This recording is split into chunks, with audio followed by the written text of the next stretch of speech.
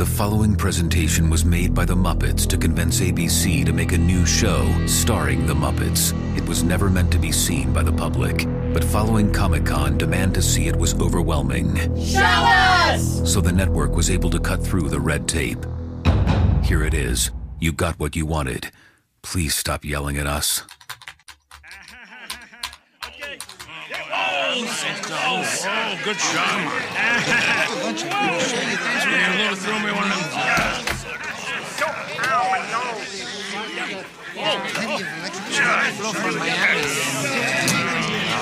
Uh, good morning, everybody. Uh, sorry I'm late. Uh, Morning, Kermit. morning, Denise. Excuse me, Fozzie. Hello, everybody.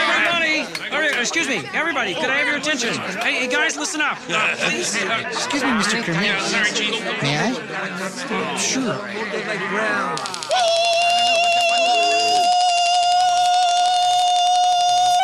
Is that safe? Of course. I'm wearing protective gloves. Well, okay. Uh, well, uh, listen, welcome everybody. Uh, so I brought you all together today because I have some really great news. ABC wants to put on an all-new primetime series starring the Muppets. God bless America and its magnificent broadcasting company. The show's going to be all about our personal lives, you know, behind the scenes, at home, our relationships. Uh, sort of an adult Muppet show.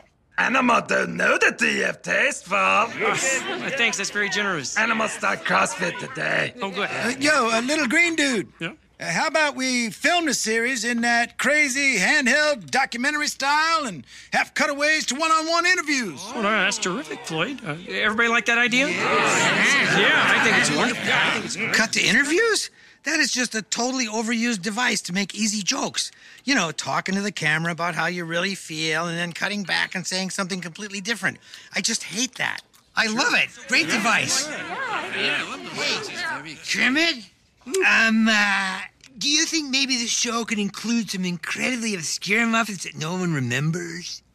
Uh, absolutely. Uh, and you are, uh, I don't know. I think I was in a holiday special or something. I'll figure it out. Uh, excuse me, Kermit. What about famous celebrities? Are you planning to have those on the show too? well, that's a good suggestion. Do you know anybody? Well, I, I see people at parties. I, I can ask around. You would? That would be great. All right. Thank you. Thank you, Elizabeth Banks. Uh, well, listen, everybody. That's it. Uh, get some sleep because filming starts tomorrow. Good night, guys. Thanks for coming. Yeah, yeah. So long, Janice. For sure. Thanks for coming. Yeah. Hey, hey, Kermit, I just got a text. It's uh, kind of bad news, so I'm gonna break it to you in the form of a joke. Oh, no, Fozzie, just tell me the news. Trust me. What has two ears, a snout, and isn't doing the show? Piggy's not doing the show? Huh, my Uber driver laughed. Oh, the network's never going to put us on the air without Piggy. Come on, Fozzie, we got to go talk to her. Oh, I can't. I'm meeting my girlfriend's parents tonight. I gotta run home and change. All you wear is a bow tie. So I won't run. What's wrong? Piggy's bailing on us. Oh, she's just getting back at you for dating Denise. Yeah, well, what can I say, Gonzo? I, I'm attracted to pigs.